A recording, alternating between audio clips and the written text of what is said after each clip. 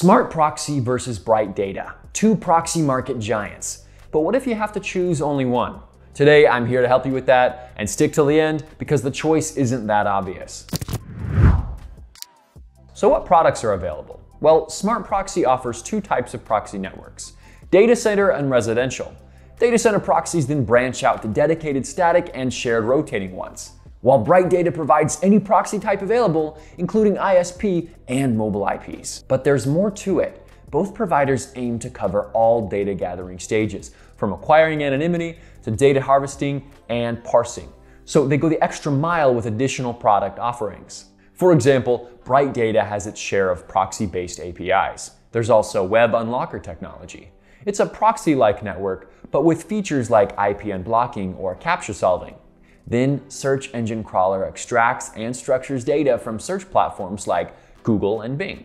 Don't have time for the scraping technicalities? Use a ready-made data collector and scrape with default templates, make it your own, or pay for ready-to-use datasets. So many possibilities, right? But what does Smart Proxy have to offer?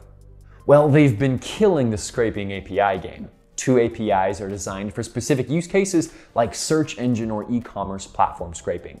With both of these scrapers, you have the choice of receiving either raw HTML or formatted JSON data. A third option is web scraping API suited for any other website and returns data in raw HTML. Then there's a no-code scraper, which you can manage on the dashboard or with a Chrome browser extension. And like a cherry on top, you get an anti-detect browser. X Browser is accessible for free with any residential plan subscription. Scraping tools are a real catch, but let's focus on proxies. Here, Bright Data is thriving with every parameter you can imagine, while Smart Proxy serves a bit less. Yet you can count on it for all essentials. Oh, and pool size isn't everything. We'll discuss proxy performance in a minute, and you'll see that it's not all that simple. Regarding residential proxies, Smart Proxy has over 40 million shared rotating IPs. Bright Data owns 72 million with shared and dedicated alternatives.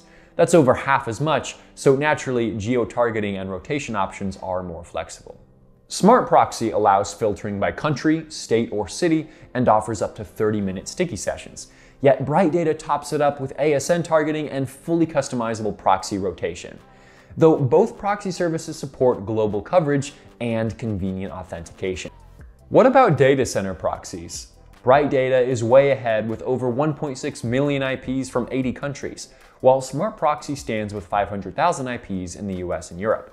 Both allow unlimited threads and host shared and dedicated proxies. But Smart Proxy's rotation is limited when its competitors fully customizable. HTTPS proxies are available when you choose any Smart Proxies or Bright Data's DC service. Yet for SOCKS 5, go with Bright Data or Smart Proxy's dedicated IPs. Bright Data has a rich mobile and ISP proxy pool. Here's a quick overview. Shared and dedicated ISP IPs are available from 50 countries and offer city or country filtering. Mobile proxy variety is even broader with 7 million IPs worldwide and precise ASN targeting.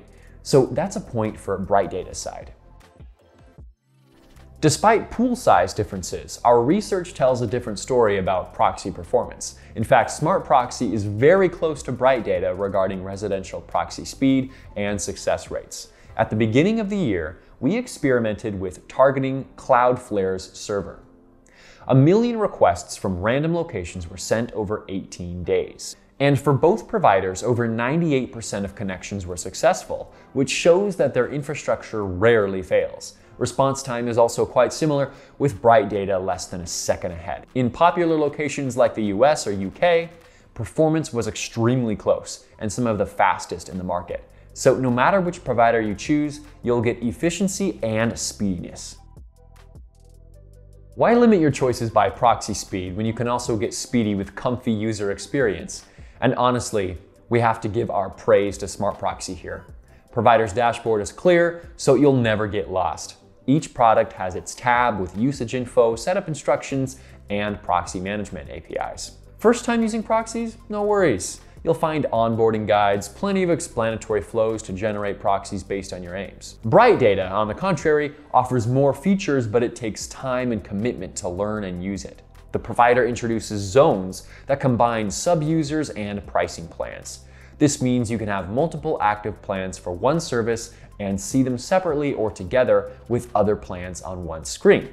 But it also makes proxy management complicated. The same goes for proxy setup.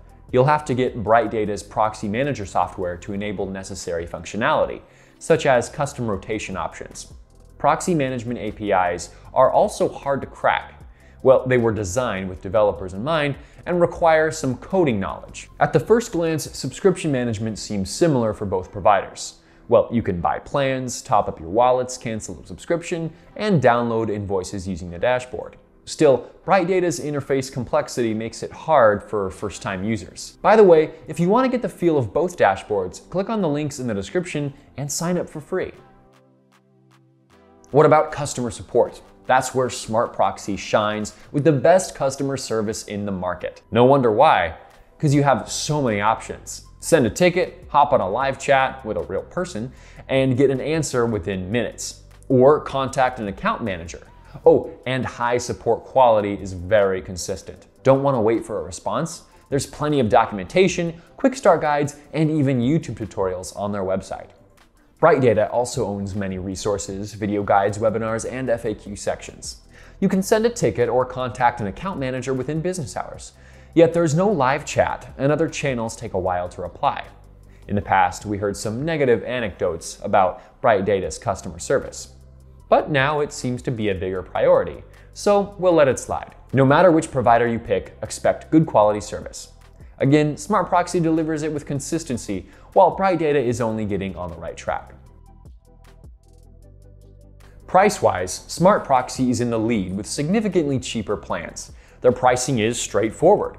Rotating proxy plans charge for traffic, static proxies for IPs, and scraping APIs bill for every successful request. The entry threshold is quite low. The pay-as-you-go option is available for residential proxies, and entry plans start from $7.5 for dedicated data center IPs. So the rates are pretty good and it scales well. BrightData too has a pay-as-you-go service for most products. Yet it gets tricky with subscriptions. For instance, ISP proxies, while sold by IPs, also count your traffic expenditure. You can remove the limits, but it'll cost extra. So basically, if you want even basic features, prepare to empty your pockets. Now you see that Smart Proxy and BrightData are both great providers. While BrightData offers more proxy types, features, and customizability, Smart Proxy delivers all the essentials conveniently and way cheaper. So my tip is to consider Smart Proxy if its functionality matches your needs. And when not, go with BrightData. You'll pay way more, but the service is high quality. I hope this guide helped you to make up your mind. Look at the links below, sign up, and try the providers for yourself. Or watch our best proxies playlist to get more recommendations for your use case. Now I'll see you there.